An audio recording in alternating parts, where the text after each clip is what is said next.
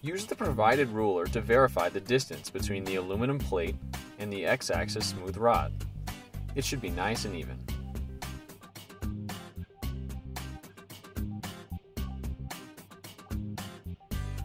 Use the graphical LCD controller to home your TAZ 3D printer onto the piece of paper.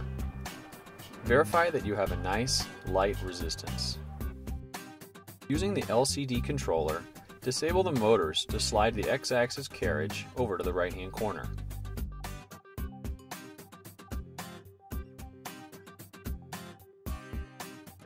Slide the piece of paper under the nozzle.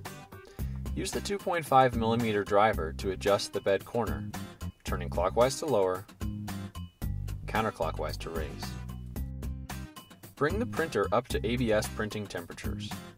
Once the hot end is at 230 degrees Celsius and the bed is at 85 degrees Celsius, print the bed calibration model to check the leveling of the bed.